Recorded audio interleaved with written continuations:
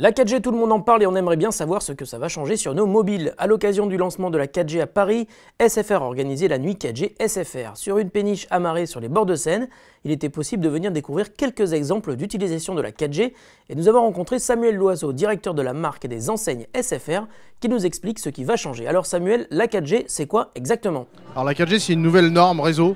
C'est de nouvelles antennes en fait qui font qu'on euh, passe à des usages, à des débits qui n'ont rien à voir avec les débits auxquels vous avez l'habitude euh, sur la 3G ou la 3G+, ou le dual carrière.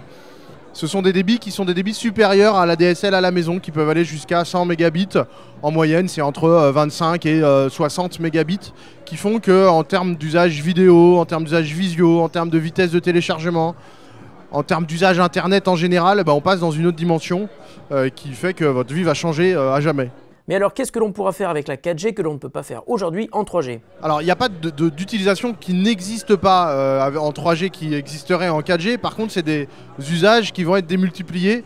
Euh, visionner des vidéos, parler en visio, aller euh, chercher des choses en live sur son mobile, sur sa tablette, c'est des usages qu'on ne faisait pas nécessairement en, en 3G ou en 3 ou en dual carrière qu'on fait maintenant en 4G de, façon très aisée parce que ça arrive immédiatement sur son écran.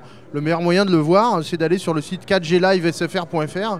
Euh, même euh, si vous êtes quelque part en France où il n'y a pas de 4G, vous n'avez pas de mobile 4G, vous pouvez demander à un petit robot euh, de faire à votre place des, des, des scénarios YouTube, des scénarios Street View pour que vous voyez en, en vrai, dans la vraie vie, ce que ça donne la 4G. Qu'est-ce que SFR va annoncer dans les jours qui viennent Vous lancez de nouveaux forfaits Alors, regardez, des nouveaux forfaits, ce ne sera pas des forfaits fondamentalement différents de nos forfaits 4G actuels qui existent déjà euh, depuis près d'un an, parce qu'on a lancé la 4G en novembre 2012.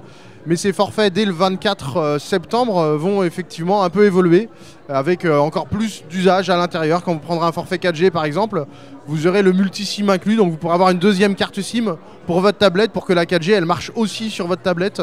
vous aurez accès à des abonnements, à des applications euh, qui euh, vous permettront d'utiliser au mieux ce nouveau réseau qu'est la 4G. Pour en savoir plus sur le déploiement du réseau 4G de SFR, nous avons demandé à Annie Rosoy, en charge du marketing réseau, de nous expliquer où en est l'opérateur. SFR a, a, annoncé le déploiement de la 4G dans 55 agglomérations de plus de 50 000 habitants fin 2013 qui sera fait, ce qui fait plus de 35% de la population. Pour vous donner quelques chiffres, en Ile-de-France, on aura 100% de Paris en fin d'année, 95% de la petite couronne et plus de 85% de la population de toute l'île de France à la fin de l'année.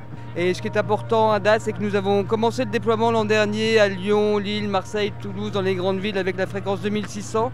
Et maintenant, nous faisons le déploiement avec la fréquence 800 MHz, qui est une fréquence qui sont les fréquences en or et qui sont des fréquences qui permettent d'avoir une excellente couverture. Ce que nous voulons, c'est amener la qualité de la 4G chez les gens, le confort de la 4G à l'intérieur des bâtiments. Voilà. Et le petit robot que nous avons aperçu sur la péniche n'était pas là par hasard, car même si la 4G n'est pas encore disponible partout en France, SFR a souhaité montrer à tous les Français ce que l'on peut faire avec la 4G. Direction les bureaux de SFR où Pierre Touzé, qui lui s'occupe du marketing de la 4G, nous explique le pourquoi du comment du petit robot SFR. À l'occasion du lancement de la 4G à Paris, on met en place un dispositif qui va permettre à toute la France, couvert aujourd'hui en 4G ou pas encore, de tester ce qu'apporte la 4G au quotidien. Les clients vont pouvoir diriger un smartphone et dire je veux utiliser Google Maps, je veux aller sur YouTube. On va commander le robot sur une interface web. Le robot qui est euh, en région parisienne va diriger directement le smartphone et faire des vrais tests sur le vrai réseau 4G.